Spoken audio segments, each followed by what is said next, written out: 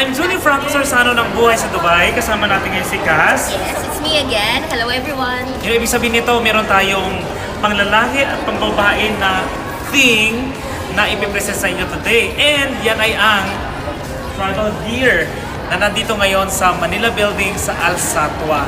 Kaya i-check natin yung dalawa kung ano yung mga damit na meron sila dito.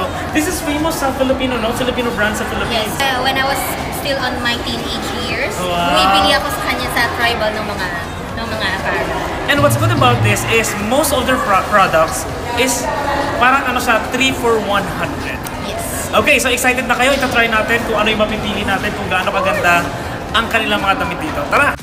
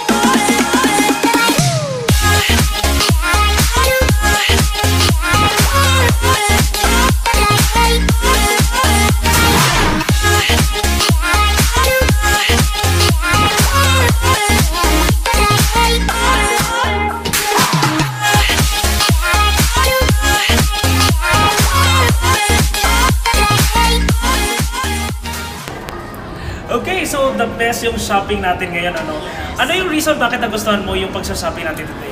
First, yung pinaka-reason is Lahat- marami kang maki super daming magaganda. Dahil lahat parang lahat bagay sa'yo. Yes, of course, syempre ganyan talaga.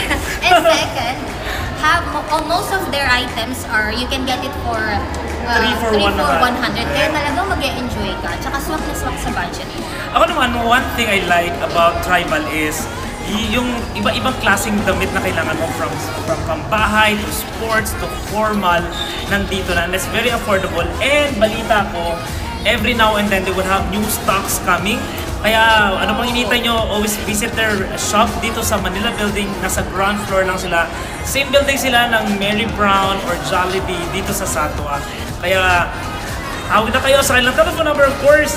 They have 055-6042629. Or ilalagay namin sa description box or sa title namin ang mga contact details ng Tribal Gear Fashion LLC dito sa Satwa.